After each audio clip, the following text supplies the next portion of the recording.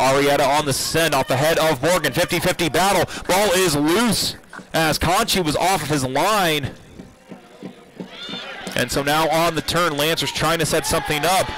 As well, the foul that will go back the other way. As we do have a Lancer down. Andres Latore, as we're going to stop the clock now at the 33-47 mark.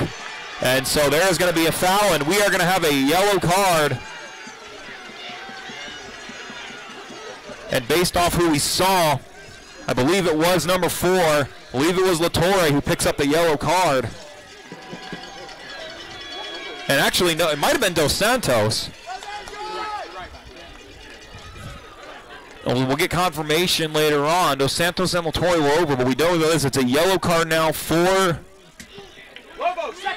for the land for yellow card against the Pilots.